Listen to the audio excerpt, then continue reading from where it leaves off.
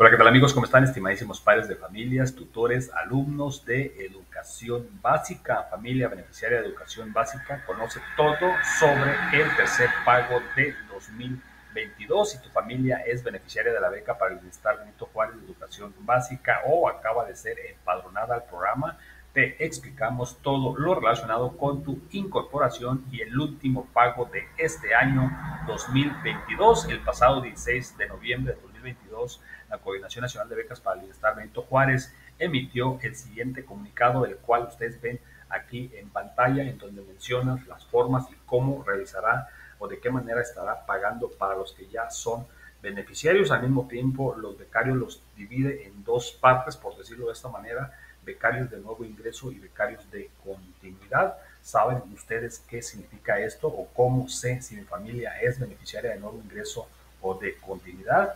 Paso 1, ingresa al buscador de estatus y consulta con el CURP del estudiante. Recuerden, es importante que introduzcan la CURP del estudiante y si tu estatus es activa, tu familia es beneficiaria, únicamente debes entrar a este link de https 2.2 diagonales buscador.becamentopares.gov.mx diagonal consulta e ingresar la CURP aquí. Recuerden, es la CURP del alumno y le dan clic al botón buscar tu estatus es activa, pues felicidades, eso quiere decir que ya perteneces al padrón de beneficiarios. Tu familia es beneficiaria de nuevo ingreso. Si visitamos la escuela de tus hijas o hijas o menores a tu cuidado y respondiste a la cédula única y solicitaste la incorporación, tu familia es beneficiaria de continuar si anteriormente ya habías recibido el pago de tu beca por medio de depósito a tarjeta del Banco del Bienestar o en una sede operativa temporal, anteriormente llamada mesa de atención.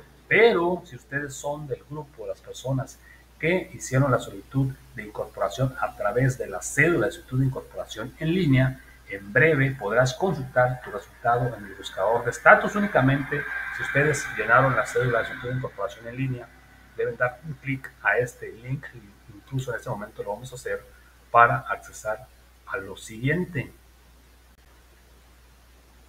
ya al haber ingresado al buscador de folio. Esta página anteriormente no, no dejaba entrar, marcaba aquí que estaba en mantenimiento, pero el día de hoy, 22 de noviembre, eh, ya está activo, pues únicamente hay que ingresar aquí la CURP y el folio y darle clic al botón buscar para que les aparezcan todos los resultados referente a esa solicitud y lo que continúa por hacer. Entonces, esto ya es muy grato saberlo porque así ya ustedes podrán entrar únicamente si llenaste una cédula de solicitud de incorporación en línea para ser beneficiario o beneficiario de alguno de estos programas de becas, ingresa a tu folio y tu club y da clic en el botón buscar para conocer si tú o tu familia son elegibles para que les sea aplicada la cédula de incorporación correspondiente. Entonces esto es muy importante que ya tienen acceso al buscador de folios, todos aquellos que hayan hecho la solicitud de incorporación en línea y ya vengan a esta página, ingresen su club, su folio y den clic al botón buscar para que vean lo que continúa y lo que tienen que hacer para concluir su proceso de incorporación.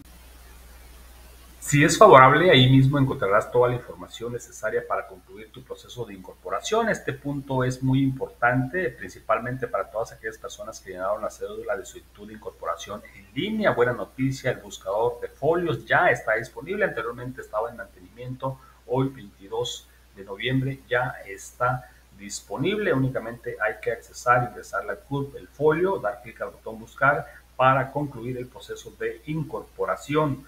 Paso número dos, ya identificaste si tu familia es de nuevo ingreso o continuidad. Ahora revisa la información que corresponda. Felicidades, si eres de nuevo ingreso, ahora tú y tu familia forman parte del padrón de beneficiarios que tienes que hacer. Ahora únicamente consulta en el apartado de becas emitidas en el buscador de estatus cuándo y dónde debes acudir para concluir tu proceso de incorporación y entrando a este link, el cual pues muchos ya conocemos, le damos clic aquí y nos va a direccionar al buscador de estatus y si, al ingresar tu CUP, recuerden que aquí la CUP que van a ingresar es del estudiante, del alumno.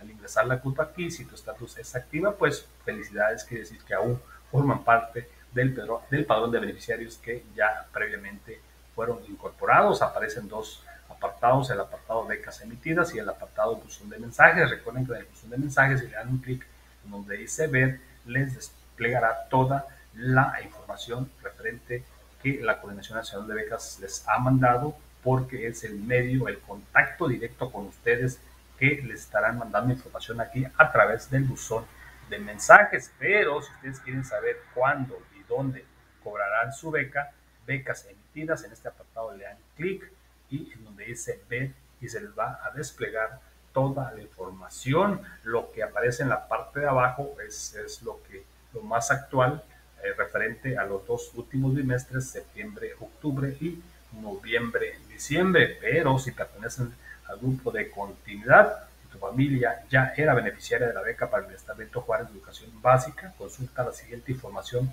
para saber cuándo recibirás tu beca. Tarjeta del Banco del Bienestar, revisa a partir de cuándo se realiza el depósito de tu beca dependiendo de las letras del primer apellido de la o el titular.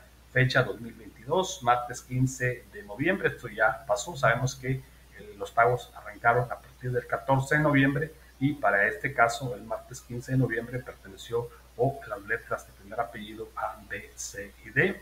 El viernes 18 de noviembre a las letras E, F, G, H, I, J, K. Esto pues obviamente ya es pasado. Para el día de mañana, miércoles 23 de noviembre, las letras del primer apellido que cobrarán son la L, M, N, O, P. Y para el lunes 28 de noviembre, las letras que cobrarán son la Q, la R, la S, la T, la U, la V, la W, la X, la Y y la Z. Entonces, buenas noticias. Ahora con la app del Banco del Bienestar puedes consultar tu saldo y movimientos de tu tarjeta.